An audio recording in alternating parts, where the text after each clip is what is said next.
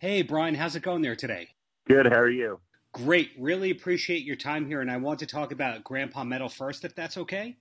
Yeah, absolutely. So I've read that the album was six years in the making, and I've also read that your part with Corey Taylor was recorded about five years ago. Was that the first part that was recorded for the album?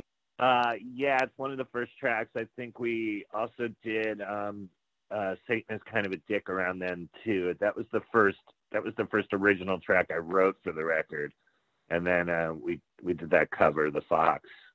Yeah, about that long ago myself having the nutty schedule that I have, and then uh, you know my producer's busy, Scotty and everybody else I wrote with, Brendan Small and and um, you know Joe Trohman. We all have insane schedules, and this was a priority. But then you know just life and other things got in the way. But in the last year was when we you know really buckled down and finished it up. Were any of the recording sessions done with everybody in the same room? I'd have to imagine with that many stars from that many cities that most of it was done over email and exchanging files that way.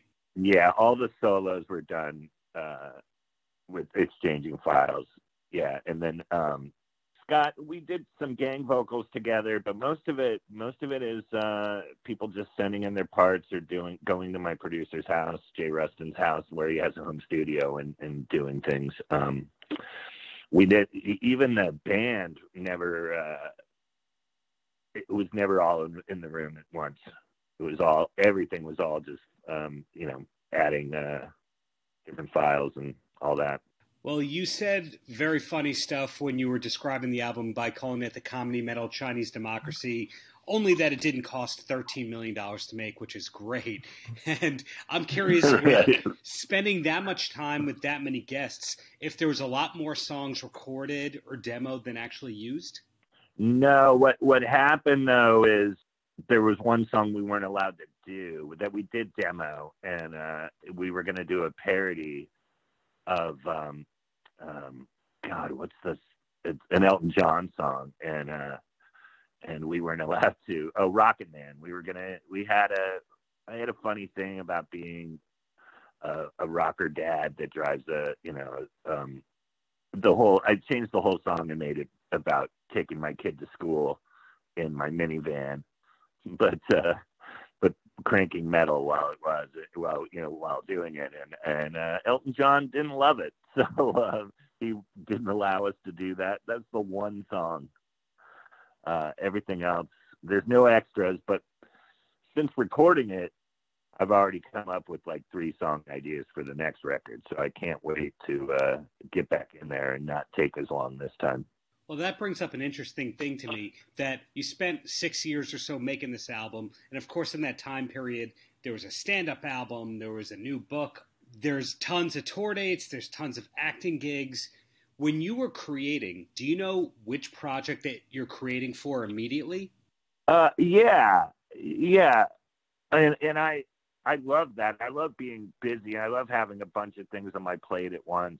Um, I kind of have to live like that. Uh, um, if I'm just on a TV show or if I'm just touring, I go a little crazy. Um, if I don't have these other outlets, you know, um, whatever that is. And, you know, even the, and then the stuff that you see, there's a ton of other stuff that doesn't get made. You know, there's, there's all the pitches and things that I'm trying to keep busy with. And, you know, um, yeah, it, it's, uh, it's how I live.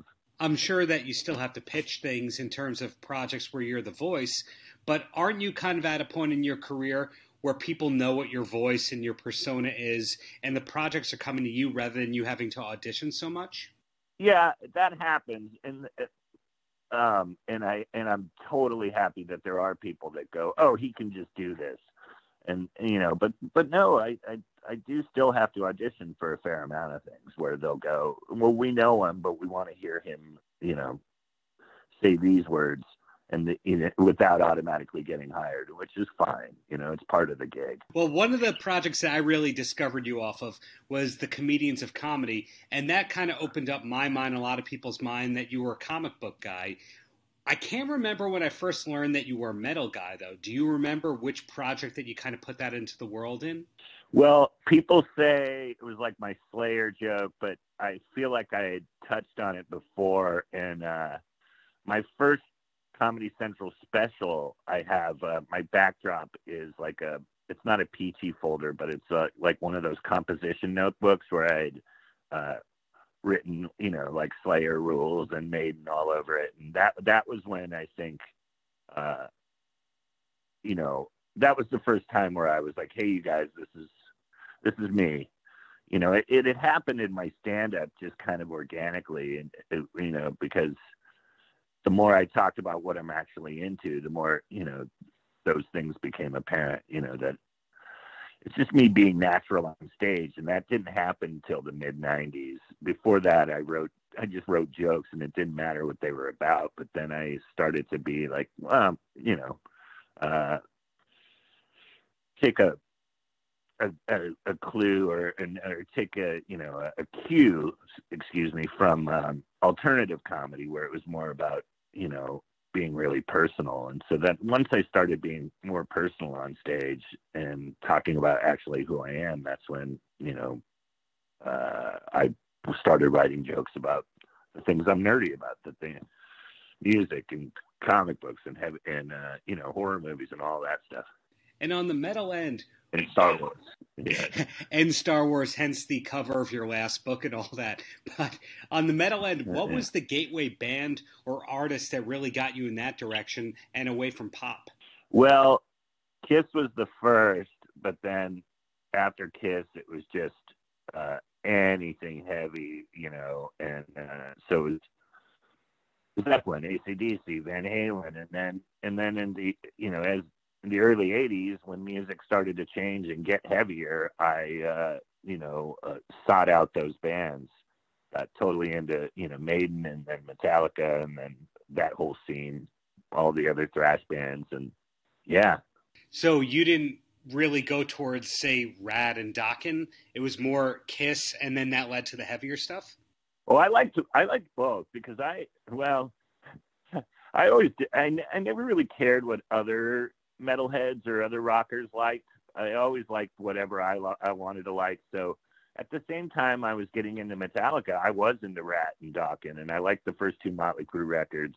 You know, they kind of lost me uh, with Home Sweet Home and all that stuff, uh, but then got back on board in the end of the '80s. But um, yeah, I mean, at the same time I liked thrash, I also liked. You know, I liked anything that was guitar driven, really, uh, and you know, there were a lot of shredders in hair metal as as there were in in thrash, and then just in you know all the guys that were also putting out those solo records of uh, you know Jason Becker and Marty Friedman and all that stuff. I got into all that too. I liked anything that was kind of that was heavy, you know.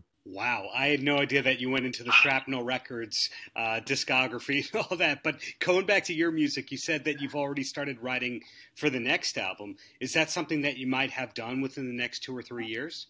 Yeah, I'd like to. I mean, I I I hope people like this record, and and if they do, uh, I I want to follow it up. And I already have some just in the last couple of weeks things that have made me laugh that I've uh, you know like oh there we go think I'll be in better shape going into the studio this time than I was, you know, uh, than I was the, the first time. And is one of the goals of this project to be able to really take this on a proper tour, or do you really just see it as a long term studio project?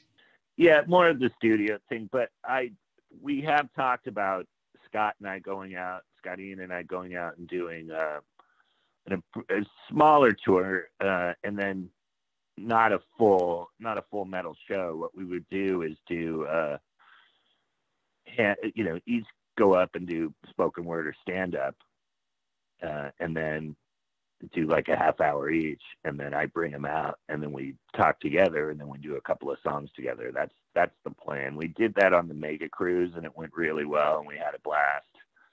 And uh, so we've talked about doing a version of that in the next year or so. And then I'm going to do some videos, at least two, possibly three from this record. And then, uh, you know, that's, that's really the, the promoting and touring aspect of it.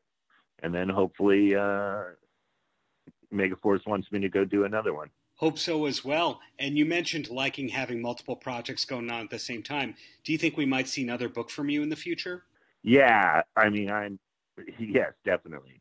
I have a novel I'm I'm uh, hacking away at, and then I also uh, have some comic book stuff uh, that's brewing.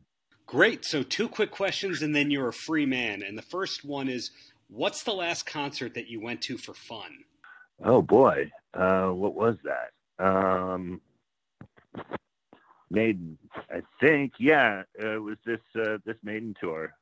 Was uh, that the show with Fozzy opening up in Los Angeles?